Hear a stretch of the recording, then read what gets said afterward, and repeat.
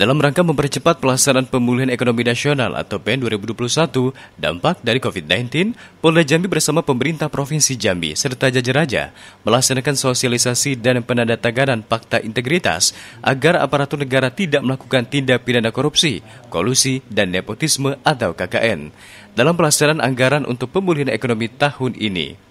Direktur Reserse Kriminal Khusus Polda Jambi, Kombes Pol Sigit Dani Setiono, memimpin langsung sosialisasi dan penandatanganan fakta integritas untuk mempercepat pemulihan ekonomi nasional sebagai komitmen bersama seluruh pihak untuk mempercepat PEN tahun ini tanpa ada permasalahan hukum nantinya.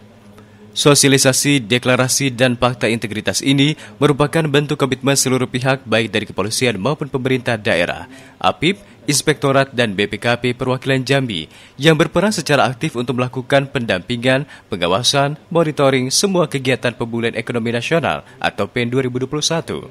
Sejak tahun 2020 program PEN telah berjalan dengan lancar dan baik. Namun demikian perlu adanya komitmen kembali agar tahun ini juga tidak ada temuan dan kasus.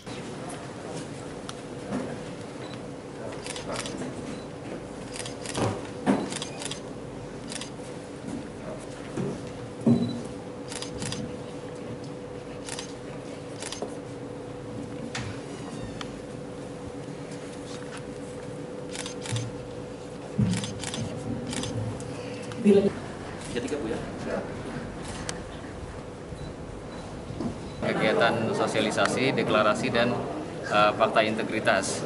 Ini merupakan bentuk komitmen dari seluruh uh, pihak, baik dari kepolisian, pemerintah daerah, APIP dan juga BPKP berperan secara uh, aktif untuk melakukan uh, pendampingan, pengawasan, monitoring semua kegiatan program pemulihan ekonomi nasional dan sampai dengan saat ini sebetulnya sejak tahun 2020 kegiatan semuanya sudah berjalan dengan lancar, dengan baik.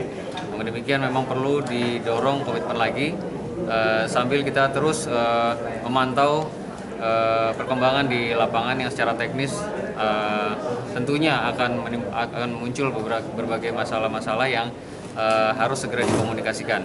Dan yang paling penting adalah bahwa saat ini uh, penandatanganan fakta integritas ini uh, diupayakan bisa mengikis uh, apa niat-niat moral hazard dari seluruh uh, uh, pelaksana kegiatan ini dan tentunya uh, menyamakan uh, persepsi bahwa apa yang sedang kita laksanakan ini sangat dibutuhkan oleh negara khususnya dalam situasi pandemi COVID-19.